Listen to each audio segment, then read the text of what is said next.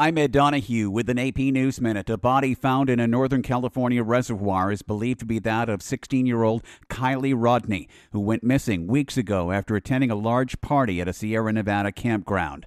People in Texas are dealing with heavy rain and flooding. Daniel Huckaby is at the National Weather Service. Some uh, locations there in Dallas that had uh, more than three inches of rain even in one hour and so uh, a lot of concrete. Just only so much that the, the drainage systems can handle. Dallas police listed dozens of locations where they were responding to high water. The Fort Worth Fire Department tweeted they were working about 25 high water investigations or rescues in that city.